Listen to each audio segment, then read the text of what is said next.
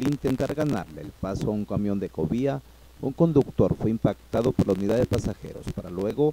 ser proyectado contra un ecotaxi en la avenida Abraham Lincoln a la altura de la calle Camara con la colonia Metras Norte, donde 11 personas resultaron lesionadas. El choque fue registrado aproximadamente a las 8.23 horas y al lugar acudieron paramédicos de la Cruz Verde Roja que atendieron a los heridos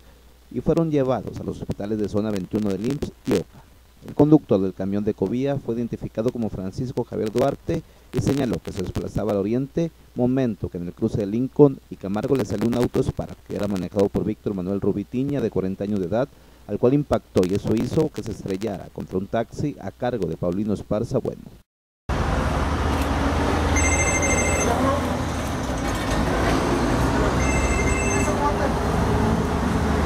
No.